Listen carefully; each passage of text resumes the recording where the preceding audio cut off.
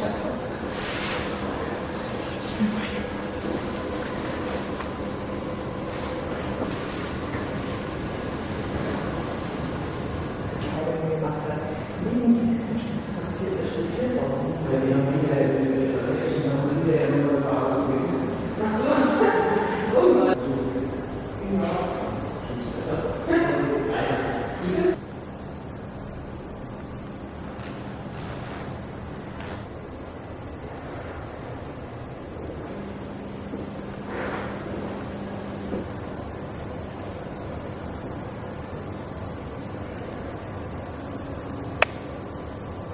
Was hat er alles genommen, Martin?